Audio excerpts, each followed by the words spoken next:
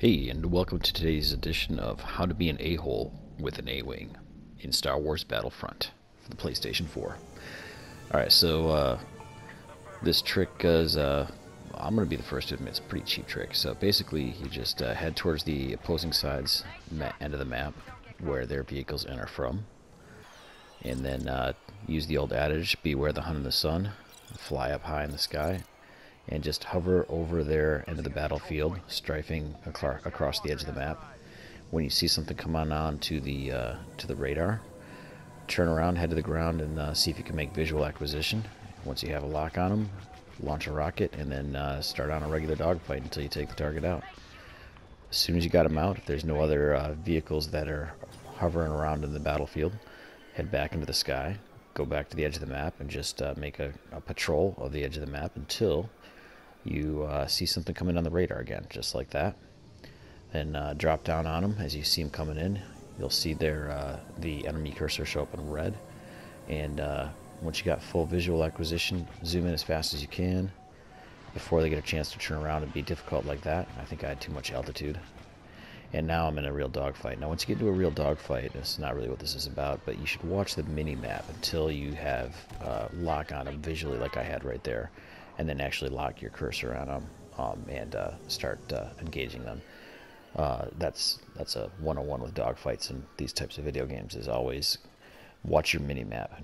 Normally when I'm on foot, I don't watch the mini map at all. I'm always you know watching the the big screen. But uh, when it comes to flight combat, yeah, I'm always watching the mini map.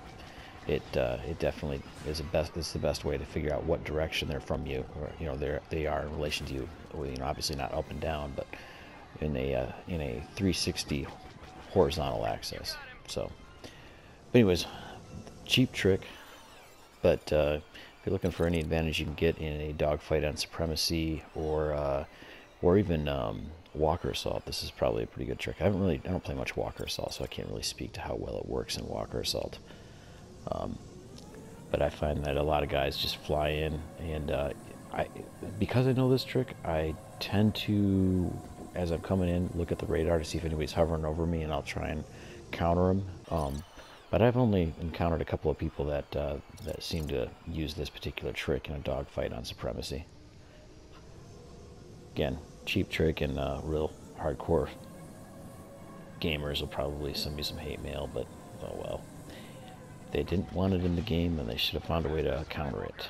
I think uh, Battlefield has a has a way of countering it. When you play Battlefield, there's usually some kind of anti-aircraft that hovers around the enemy base, so that you can't just hover over their base in a vehicle.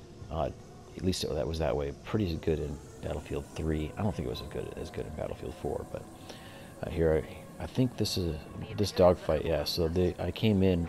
The guy that uh, there was two different guys, and the guy I was just shooting at was actually not the guy I saw on the radar. So sometimes you'll see um, that was I'm hovering over the edge of the battlefield, I turn and face the ground to see if I missed anybody coming in on the radar. And there's the guy I was actually after. And uh, I was looking on my mini map to find him when I was actually going for, uh, you know, when I lost acquisition with him. So, yeah, the mini map right there. So I'm watching the map. I see this guy come in, turn right around. Took me a second to find him. Of course, he's he's running low and slow. And first thing I do is launch a rocket and then engage in in them, uh, you know, engage in uh, regular dogfight tactics.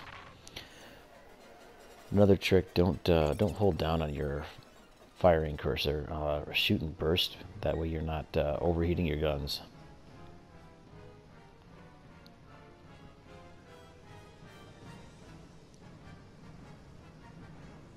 End of the map here. I was just trying to shoot at the uh, enemy base, get a dumb luck kill for what it's worth. Well, those are my thoughts, not yours, and uh, enjoy. All in all, pretty fun game.